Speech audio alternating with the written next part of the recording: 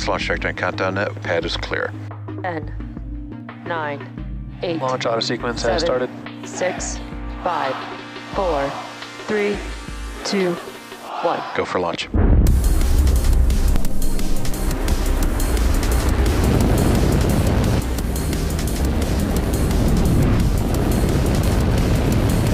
Vehicle is supersonic.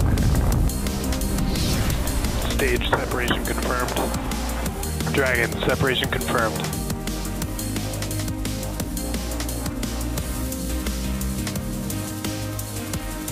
Stage one is transonic. Landing legs have deployed. And Falcon 9 has landed.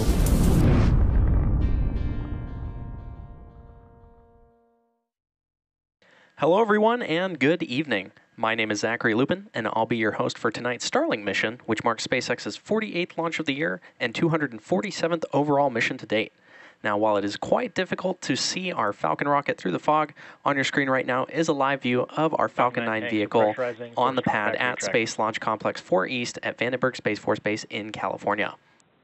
At T minus 4 minutes and 42 seconds, the range is ready to support, and even though there's fog at Vandenberg, the weather is looking great for an on time liftoff of 10:25 p.m. Pacific time. Teams are currently tracking no issues with the vehicle or the spacecraft. Now, while it will be quite difficult to see through the fog, the sh- strong back, which is adjacent to the Falcon 9 vehicle, uh, has clamp arms that will be opening up just below the payload fairing on our Falcon rocket. The strong back, or transporter erector, is the truss structure next to the rocket that is used for rollout and to route propellants and electrical power to the vehicle in preparation for launch.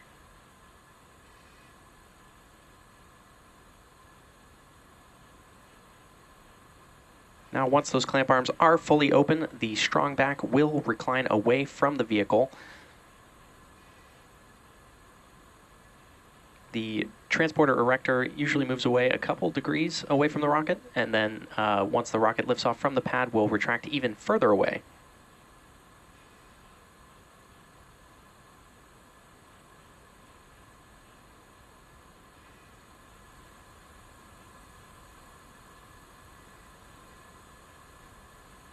Coming up next at the T minus three minute mark, we should hear that stage one has completed liquid oxygen loading.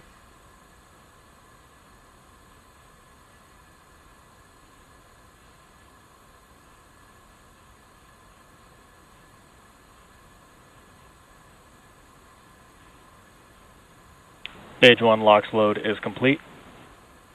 And there's that call out that stage one LOX loading is complete. The Falcon 9 first stage is now fully loaded with RP1 and Stage LOX. one POGO. And we're awaiting completion of LOX load on the second stage in about 50 seconds from now. Now again, while it is quite foggy at Vandenberg, there are some white clouds forming around our Falcon vehicle. Those clouds are the chilled gas above the LOX tank liquid surface that we vent overboard to maintain pressure in the tank as needed. And when that gas comes out into the California air, the humid moist air condenses into clouds and water. Coming up shortly, we should hear a call out that LOX loading is complete on the second stage of our Falcon vehicle.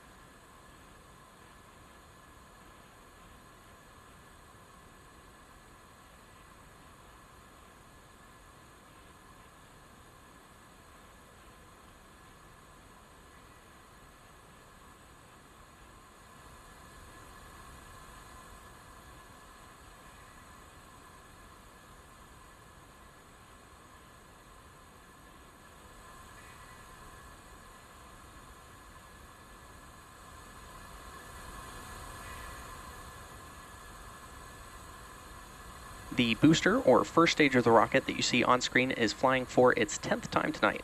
And after liftoff and stage separation, this booster is scheduled to land on our drone ship, Of Course I Still Love You, which is currently stationed in the Pacific Ocean. As many of you may already know, successfully recovering parts of the rocket allows SpaceX to refly the most expensive pieces, which in turn drives down the cost of space access. Coming up in about 24 seconds from now, we should hear a call out over the nets updating us that Falcon 9 is in startup, which means that the flight computers have taken over the launch countdown.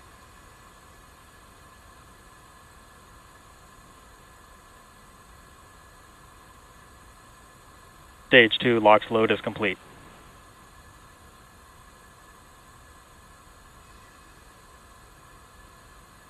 Falcon 9 is in startup. And there's those callouts of stage two LOX loading uh, completion as well as Falcon 9 startup. In a few seconds, we should hear our LD give the final go for launch. LD is go for launch. And as you just heard, the launch director has given the final go to proceed for launch tonight. So let's sit back and watch as Falcon 9 takes our 15 Starlink satellites into space.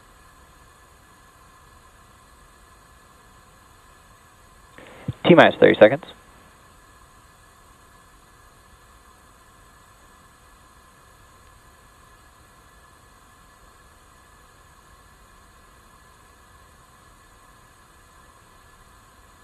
Fifteen seconds. T minus 10, 9, 8, 7, 6, 5, abort, And if you've been following along, you'll heard that we had an abort at the five second uh, mark. Prior to that, the countdown was proceeding nominally, so please stand by while we check in with the teams to see if we can get more information.